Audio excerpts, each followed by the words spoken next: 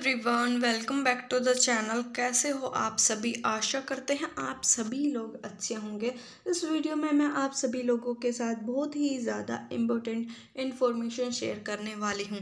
उससे पहले आप लोगों को चैनल को सब्सक्राइब करके नोटिफिकेशन को ऑन कर देना है। ये बिल्कुल फ्री है इससे आप लोगों को लगातार जानकारी मिलती रहेगी। तो चलो बात कर लेते हैं इन्फॉर्मेशन के बारे में। स्टूडेंट्स ऑफिशियल इन्फॉर्मेशन आप सभी के लिए आज के अभी फाइनली वो समय आ चुका है जब पीछे रोहतक ने ऑफिशियल नोटिस जो है रिलीज़ कर दिए हैं। मैं आप लोगों को सब कुछ इसी वीडियो में एक्सप्लेन करने वाली हूँ स्टूडेंट जैसे कि अभी काउंसलिंग का समय आ चुका है तो आप लोगों को काउंसलिंग के लिए जो है प्रिपेयर हो जाना चाहिए बिकॉज़ काउंसलिंग जो रहेगी वो काफ़ी ज़्यादा लॉन्ग प्रोसेस यहाँ पर रहने वाली फ़र्स्ट राउंड काउंसलिंग होगा सेकेंड राउंड काउंसलिंग रहेगा मॉपअप राउंड काउंसलिंग रहेगा and along with that let suppose अगर आप लोगों का फ़र्स्ट राउंड काउंसलिंग या फिर किसी भी राउंड में एडमिशन हो जाता है।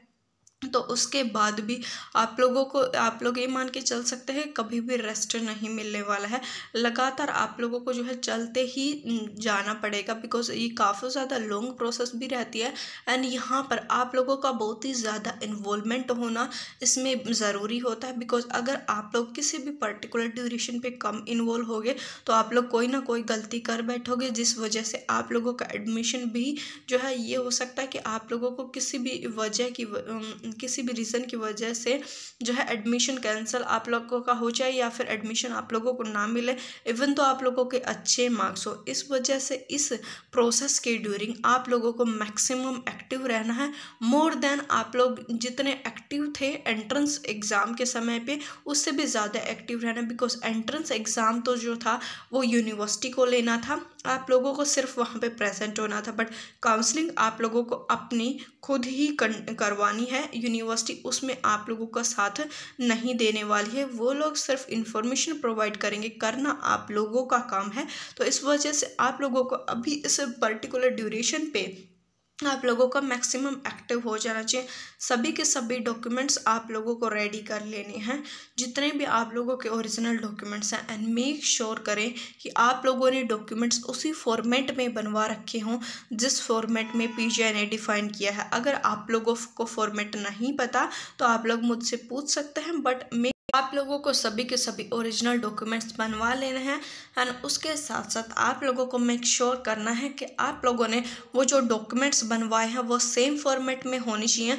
जैसे कि यहाँ पर पीजे रोहतक में आप लोगों के लिए डिमांड किया गया, फिर आप लोगों से मांगे गए हैं, उसी फॉर्मेट में होना चाहिए। उसके साथ साथ जो भी प्रोसेस रहेंगी, जैसे कि आप लोगों को फ़ीस कैसे डिपॉजिट करनी है मोस्ट प्रोबेबली इस बार भी जो फ़ीस हो सकती है, वो डी की फॉर्म में हो सकती सकती है। तो उसके लिए भी आप लोगों को जो है वेल प्रिपेयर रहना चाहिए एंड आल्सो आप सभी लोगों को मेंटली प्रिपेरेशन की बहुत ज़्यादा ज़रूरत है। आप लोगों को मेंटली प्रिपेयर होना पड़ेगा काउंसलिंग के लिए बिकॉज़ आप लोगों को जो है मैक्सिमम एक्टिव रहना है एंड आप लोगों को ही सभी काम जो है करने होंगे। इस वजह से आप लोगों की एक्टिविटी जो है मैक्सिमम होने वाली है।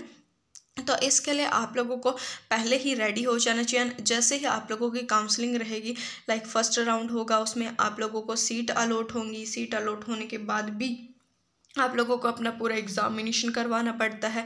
मेडिकल एग्ज़ामिनेशन देना आप लोगों को फ़ीस वगैरह भी देनी पड़ती है।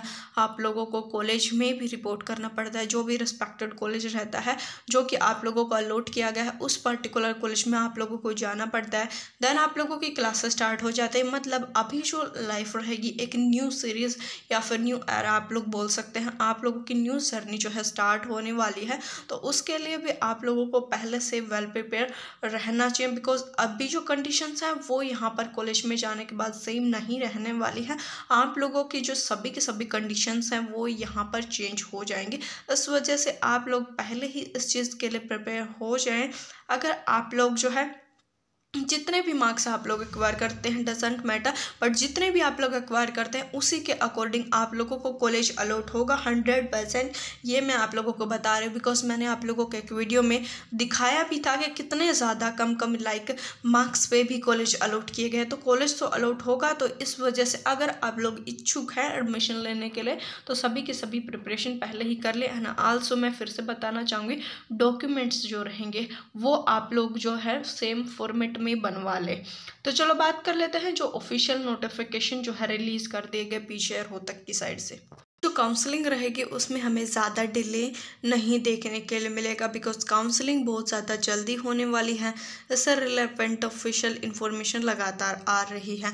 आप लोगों को मैं दिखा दूँ ऑफिशियल नोटिफिकेशन जो है लगातार पीजीआई की साइड से रिलीज़ किए जा रहे हैं एंड आल्सो जैसे कि आप लोगों को पता था कुछ रेस्ट्रिक्शंस थे तो वो यहाँ पर फाइनली जो है हटने वाले हैं, जो कि यहाँ पर आप लोग बोल सकते हैं कि रेस्ट्रिक्शन जो थे यहाँ पर कोविड की वजह से थे, वो हटने वाले हैं, वो यहाँ पर आप लोग देख सकते हैं, इन नोटिस से पता लगता है बिकॉज़ मोस्ट ऑफ़ द जो यूनिवर्सिटी एग्ज़ाम्स हैं, वो अभी जैन में ही होने वाले हैं। तो अगर जैन में एग्ज़ाम्स होंगे मतलब जो रहेगा ये फाइनली अप्रूवल हो चुका है अप्रूव हो चुका है कि अभी जो है काउंसलिंग भी कंडक्ट करवाई जाएगी। आप लोग देख सकते हैं, पहले मैंने आप लोगों को दिखाया था जो यूनिवर्सिटी एग्जामिनेशन होने हैं बीएससी फ़र्स्ट ईयर के, वो यहाँ पर पंद्रह जैन से होने वाले हैं। तो यहाँ पर अभी जो अदर एग्ज़ाम्स के बारे में बात करें, जैसे जो अदर कोर्सेज हैं, उनके एग्ज़ाम्स के बारे में हम लोग बात करें बी एच एम्स वगैरह तो उनके जो एग्ज़ाम्स हैं, वो यहाँ पर ट्वेंटी टू से जो है स्टार्ट कर दिए गए। मतलब अभी बहुत ही ज़्यादा रेस्ट्रिक्शंस नहीं रहने वाले हैं एग्ज़ाम्स के लिए।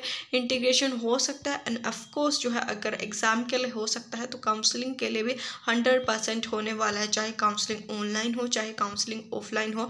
अभी बिल्कुल भी आप लोगों को वेट नहीं करना है। ऐसा ही सेम नेक्स्ट एक न्यू नोटिस भी जो है रिलीज़ कर दिया गया स्टूडेंट यहाँ पर आप लोगों को, यहाँ पर सेम यहाँ पर मोटिव मिलने वाला है कि दैट इज़ अभी आप लोगों के पास बिल्कुल भी समय आप लोग रेडी हैं एंड उसके साथ साथ आप लोगों को ये मेक श्योर करना है कि जहाँ पे भी आप लोग काउंसलिंग से रिलेवेंट जाएँ, आप लोगों को जो रहेगा कोविड गाइडलाइंस को ज़रूर फॉलो करना है बिकॉज़ आप लोग देख रहे होंगे जैसे कि यहाँ पर कोविड केसेस आ रहे हैं ओमिक्रॉन केसेस आ रहे हैं, बहुत ही ज़्यादा पर डे जो है इंक्रीज़ होते जा रहे हैं। तो इन चीज़ों को आप लोगों को ध्यान रख लेना है। मिलेंगे एक नेक्स्ट न्यू अपडेट के साथ नेक्स्ट इन्फॉर्मेशन के साथ। Thank you